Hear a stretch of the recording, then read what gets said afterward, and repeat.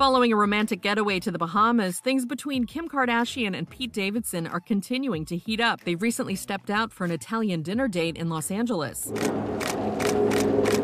The couple, who arrived stateside last week, kept things casual as they visited Jon and Vinny's for pizza, with Kim rocking a pullover and leather pants, and the Saturday Night Live comedian sporting a hoodie and colorful trousers. An eyewitness tells E! News that the pair shared a corner booth at the back of the restaurant. I'd say it was an intimate date, the onlooker describes. Even when they jumped into the booth, they were very close together, and it seemed like a cute date. According to a source close to Kim, the mom of four is, quote, having a great time with Pete, and adds, It's all very light and fun. It's a huge change and just what she needs right now. She's enjoying it being easy and effortless. Pete is charming and funny. They light up around each other, and it's very sweet. But although the celeb is very happy with things right now, the source notes that Kim is, quote, not at a point where she wants to bring Pete around the kids or incorporate him into her family life. The insider adds, she's keeping it all separate for right now. She wants to be respectful of the kids' feelings. What she does with Pete, she does when she isn't with the kids. As for her ex, Kanye West, who is currently linked to actress Julia Fox, the insider says that the 44 year old rapper rapper has absolutely not given up on Kim and still believes they will be together. But the source says a reconciliation is never going to happen.